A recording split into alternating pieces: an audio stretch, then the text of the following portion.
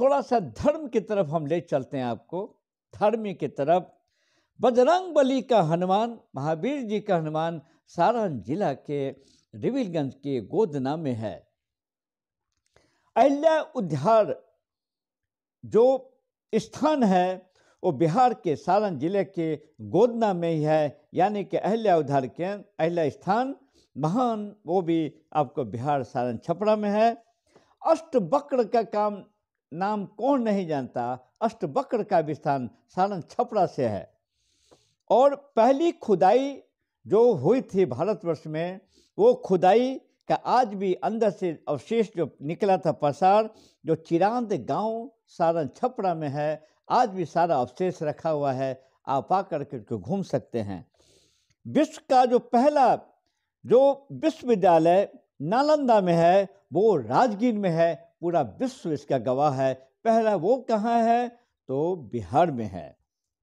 अगर चलते हैं कि अगर सबसे बड़े जितने जो दुर्गा माँ का जो पीठ मंदिर है, शुरुआत करते हैं पटना में पटन देवी और आमी मंदिर दिगवाड़ा का और गोपालगंज में थावे से लेकर कहाँ है? तो बिहार में है।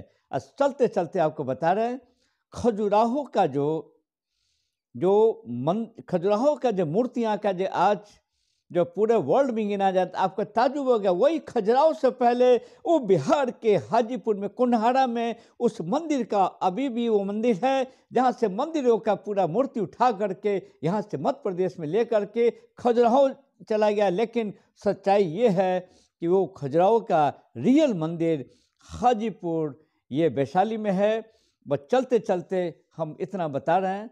कि जो इतना होने के बावजूद भी किसी भी नेता हो, कोई चीफ मिनिस्टर हो, नीतीश कुमार जी हो शुरूतः किसी का पर्यटन स्थल बनाने में और इस पर्यटन विदेशियों को इस चीज़ों के बारे में बताने में उन लोगों ने कोई भी कार्य सक्रियता नहीं हुआ, जो आज भी लोग कहते हैं, बिहार गरीब है, बिहार पीछे नहीं, बिहार में आप आंकड़ा लेंगे तो गिनत गिनत अंगुड़ी थक जाई ये हमार बिहार, बस हम एक ही कहेंगे, एक बिहारी सब पे भारी, जय बिहार, जय हिंद।